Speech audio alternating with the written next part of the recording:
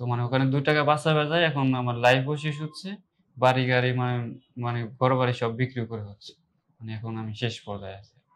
জীবিকার তাগিদে আমরা এক দেশ থেকে আরেক দেশে ছুটে বেড়াই।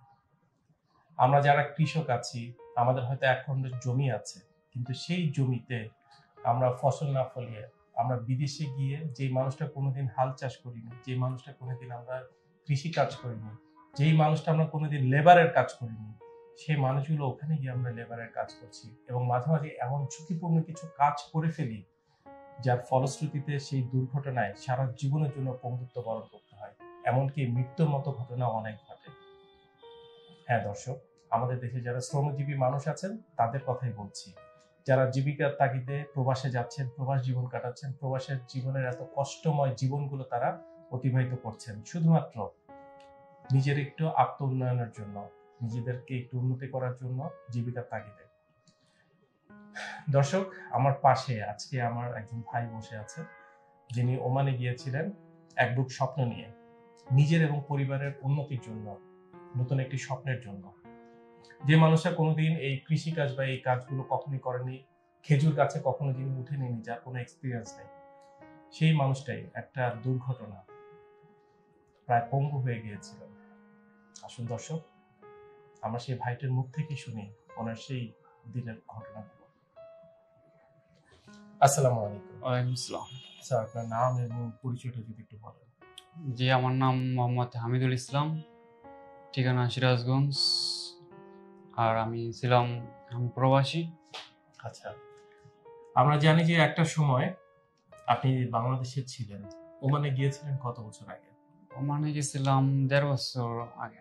দেড় বছর আগে। দেশে থাকতে কি কাজ করতেন দেশে থাকতে কোনো কাজ করতাম না মানে লেখাপড়া করতাম গরিব মানুষ সেজন্য মানে মানে বাবা টাকায় মানে কি করতে পারে না মানে সংসার চালাতে পারে না। সেজন্য লেখাপড়া বাদ দিয়ে ওমানে গেছিলাম কাজের জন্য। মানে টাকা পয়সার লোন টোন করে নিয়ে চলে গেছিলাম। আচ্ছা। তো যাওয়ার পরে মানে এক বছর ভালো ভালো কাজ করলাম। কি ধরনের কাজ ছিল কাজ ছিল বাগানে মানে খেজুর বাগানে কাজ করা হয়। আচ্ছা। কাজগুলো অনেক বড় বড় মানে।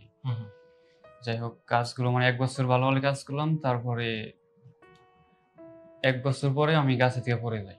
হঠাৎ করে মানে হঠাৎ উঁচু গাছে ওখানে স্লিপ করে পড়ে যাবেন জি জি আমার পায়ে মানে এই দূরতে দূরতে না মানে যেখানে পাড়া দিছিলাম ওটা মানে ভেঙে পড়ে যায়। তো যাওয়ার পরে ওখানে মানে তো আমরা তো প্রবাসী আমরা একটু মানে টাকা যদি এক টাকা বাঁচে ওটাই আমরা মানে বাঁচানোর চেষ্টা করার চেষ্টা করেন। জি জি। তো ওখানে যখন বাংছে ওটা আমি পাত্তা দিইনি মানে ওখানে ব্যথা করতেছে হয়তো ব্যথার বড়ি খাই। তো সুস্থ হয়ে যাবে সমস্যা নেই। মানে এইভাবে আমরা মানে টাকা খরচা না করে মানে গরিব মানুষ সেজন্য মানে পাত্তা দেয় নাই। জিনিসটা ধীরে ধীরে ধীরে ধীরে যখন বেশি হয়ে গেল প্রায় এক মাস দু মাস হওয়ার পর তখন জিনিসটা মানে হনুমান মানে আমার বস যে আমার বস তখন তারে বললাম যে আমার তো এখন কাজ করা মানে হচ্ছে না মানে আমি কাজ করতে পারতেছি না আমার পায়ে সমস্যা দিছে। কয়, কি সমস্যা দিছে? কই যে আমার পায়ে পড়ে গেছিলাম এতদিন আগে। এরকম করে সমস্যা হয়েছে এখানে ব্যথা করতেছে। তো বসে বলল ঠিক আছে সমস্যা নেই ওখানে আমি একশো করাচ্ছি একশো করাই চিকিৎসা করতেছি। তো ওখানে একশো করানো হলো ওখানে ডাক্তারের কাছে। একশো করে ধরা পড়ছে একটু ভাঙে গেছে। হেপ জয়েন্ট ক্ষয়। ভাঙে গেছে জাস্ট ভাঙে গেছে তো এখন মানে ওখানকার ডাক্তার ওষুধ দিল ওই মানে চিকিৎসা করল ইংলিশিন মারলো মানে মারার পর প্রায় সাত দিন থেকে পনেরো দিন আমি ব্যথা মুক্ত হলাম। তারপর ধীরে ধীরে ধীরে ধীরে কেমনি বাড়লো। এখন বসরে বললাম যে আমার তো ব্যথা কমে না। পরে বলে যে আমার দেয়া কিছু করার নাই এখানে। তার কারণ এটা আমরা যতটুকু সম্ভব ততটুকু চেষ্টা করছি। আমাদের যেটা দায়িত্ব ছিল আর কি। এখন বসে বলতেছে যে তুমি যদি কাজ করতে পারো তে থাকো। আর যদি কাজ না করতে পারো তাহলে চলে যাও সমস্যা নেই আমি পাড়ায় দিচ্ছি। তো আমি ভাবলাম যে এত টাকা খরচা করে আসছি হবাই হয়েছে এক বছর।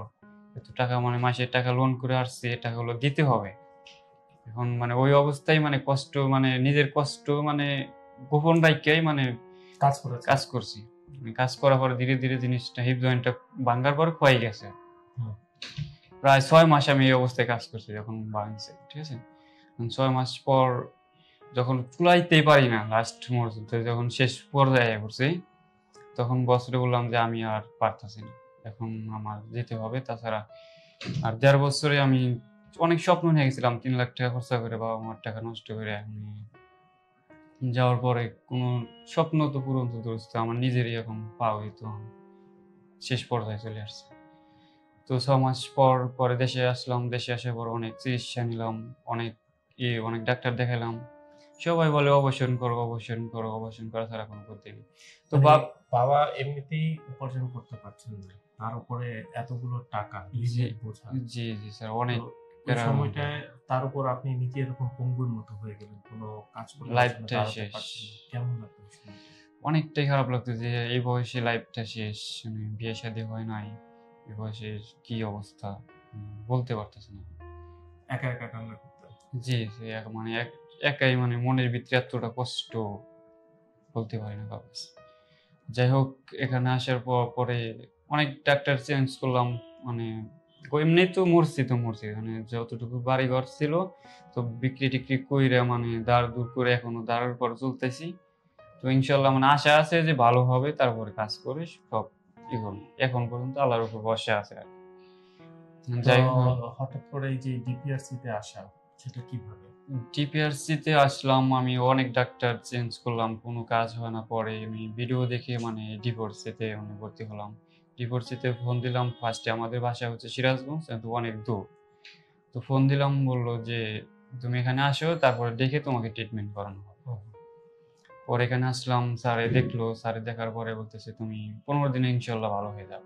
সেজন্য মানে আমি কতদিন আজকে চিকিৎসা আজকে চিকিৎসা নিচ্ছি আমি আষ্ট দিন। কি অবস্থা? সেই প্রথম দিনে দিন- ভর্তি আপনি আর এই সাত দিন বা আট দিন পরে আজকে অবস্থা কতটুকু ভালো? জি ইনশাল্লাহ। আজকে একটু মানে হাঁটতে পারতেছি ভালো হলে মানে আজকে নড়াচড়া করতে ভালো লাগতেছে। তার মানে মানে এখন আপনি একটু সাহস আছে হ্যাঁ, সাহস আছে যে এখন যদি যায় বাড়িতে যায় মানে এক্সারসাইজগুলো ঠিকঠাক মতো এখানকার যে এক্সারসাইজগুলো করাইছে স্যার যে নিয়ম কানুনগুলো বলে দিয়েছেন সেই জি, জি। পালন করবেন। তো আলহামদুলিল্লাহ এখন আগের থেকে অনেকটুকু ভালো আছে। জি স্যার অনেকটাই ভালো আছি। আমাদের দেশে এরকম অসংখ্য মানুষ আছেন যারা জানেন না বা আপনি যেটা বলেছেন যে যখন প্রবলেমটা হয়েছিল আপনি ওই সময়টা সঠিক চিকিৎসা নেবেন যারা জানে না তাদের জন্য আপনি কিছু বলবেন এই ডিপিএসসি সম্পর্কে? যারা জানে না মানে আমরা যারা প্রবাসী থাকি যারা প্রবাসী যায় তাদেরকে বলতেছি তার কারণ তারা যখন মানে দুই টাকা বাঁচাবার যায় পরে লাস্টে দেখা যাব যে লাখ লাখ টাকা। লাখ লাখ টাকা খরচা করে কাজ হবে। যেমন আমার এই ব্যথাটা তখন যদি তখন ভালো চিকিৎসা যদি নিতাম মানে যে জিনিসটা যখন আসারটা পড়ছিলাম তখন তো অল্পতেই আমি বেঁচে। গেতাম তখন তো আমার দেশেও আসতে হতো না, ওখানেই আমি সুস্থ হয়ে গেতাম। তো মানে ওখানে দুই টাকা বাঁচাবে যায় এখন আমার লাইফও শেষ হচ্ছে, বাড়ি গাড়ি মানে মানে ঘর বাড়ি সব বিক্রি করে হচ্ছে। মানে এখন আমি শেষ পর্যায়ে আছি। মানে যারা মানে যারা এরকম রোগী আছে মানে হিপ জয়েন্ট সমস্যা হিপ জয়েন্ট ক্ষয় গেছে মানে যারা অপারেশন করার চিন্তা ভাবনা করতেছে, তাদের জন্য এখানে ডিপিএসসিতে আসাই উত্তম। তার কারণ এখানে ট্রিটমেন্টটা অনেক ভালো হয় এবং এখানকার সার্জারের মানে সার্জারি মানে নার্স সবাই অনেক ভালোটা ব্যবহার করে এবং ইনশাল্লাহ পনেরো দিন, এক মাসে ইনশাল্লাহ হিপ ঠিক হয়ে যায়। আলহামদুলিল্লাহ। চমৎকার বলেছেন। দর্শক, শুনলেন আপনারা কষ্টের কথাগুলো। ডিসিশন আপনাদের। সুস্থ থাকবেন নাকি অসুস্থ হয়ে পঙ্গু হয়ে সারাটা জীবন বয়ে বেড়াবেন? এই গ্লানি। ভালো থাকবেন, সুস্থ থাকবেন। সুস্থ হয়ে মানুষের মতো বেঁচে থাকবেন। আসসালামু আলাইকুম।